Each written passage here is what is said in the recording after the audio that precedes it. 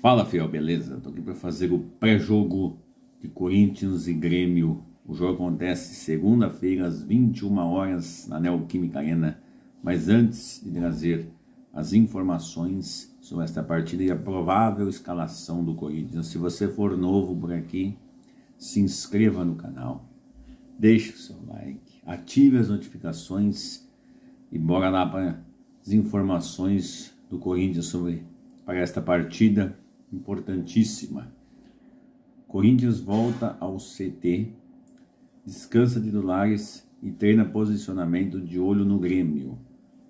Elenco foi dividido entre titulares e reservas e só parte trabalhou em campo com Luxemburgo. O Corinthians voltou a trabalhar no CT Joaquim Grava neste sábado, quando fez a primeira atividade na capital paulista desde a derrota vexame, humilhação para o Fortaleza. Luxemburgo tem apenas um treino com os titulares para ajustar o time, que recebe o Grêmio na Neoquímica Arena na segunda-feira, pela 15ª rodada do Brasileirão. Quem jogou mais de 45 minutos contra o Fortaleza ficou na academia para um trabalho de força o restante do elenco foi ao campo para treinos específicos de posicionamento na defesa e no ataque.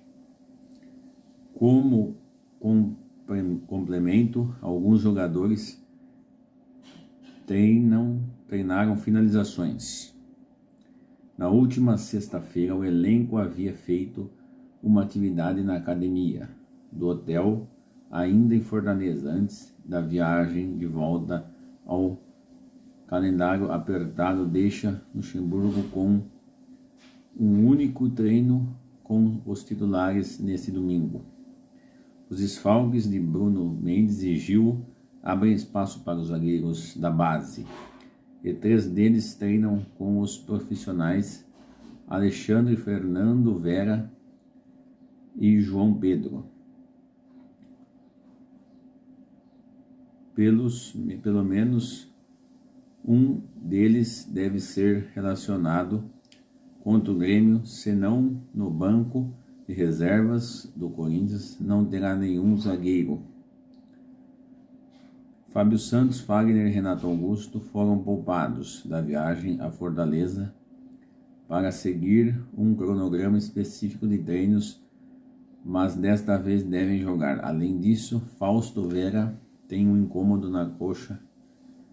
Rony faz transição após entorse no tornozelo e Giovanni teve lesão muscular. Um provável Corinthians contra o Grêmio tem Cássio Fagner, Lucas Veríssimo, Caetano, Fábio Santos, Gabriel Moscardo, Maicon Renato Augusto, Matias Rojas, Wesley e Yuri Alberto. Então aí as informações alguns desfalques, outros é, indefinições né, de jogadores, se vão poder jogar, se tem condições ou não tem.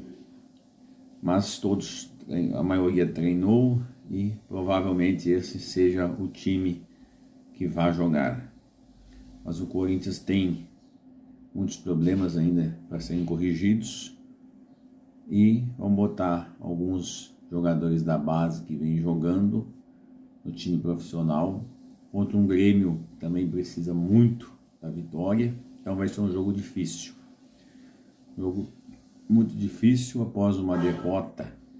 O Corinthians vem com esses problemas, com essas indefinições, se jogadores jogam ou não jogam.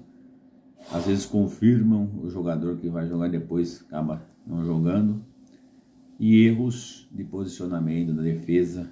Né? Treinou, vamos ver se no jogo isso vai melhorar.